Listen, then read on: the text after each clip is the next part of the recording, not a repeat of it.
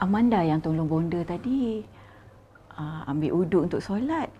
Kalau Amanda tak ada, tak tahulah apa jadi. Oh, aunty. Ni ibu Encik Fahad rupanya. Patutlah baik. Tak macam anak dia. Ha? Ha? Apa dia Amanda? Tak ada, tak ada apa-apa. Taki. Uh, tak Din, okey. Oh, aku nak bincang pasal benda ni. Kita kena buat seriusnya. Okey. Untuk pembukaan cawangan baru kita, aku nak kau kumpulkan segala maklumat tentang tarian yang ada dekat Malaysia ni. Ha? Itu target market kita. Kita nak attack semua bangsa, semua etnik, semua kaum. Okey? Right.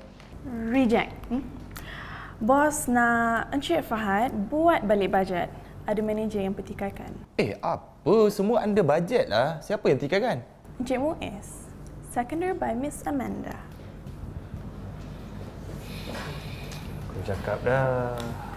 Aku dah cakap dah. Ana upload surat dekat media sosial kan? Eh, Ana ni betul-betul nak malukan abang kan? Satu unit tahu tau. Ingat cantik sangat ke? Ana tak buatlah semua tu. Tak buat apa bendanya.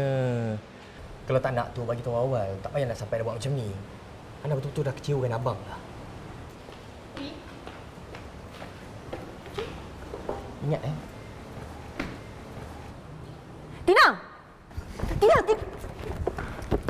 Cik, tunggu nak kejap! Apa? Kau yang upload kad tu kan? Sebab kau seorang je yang tahu.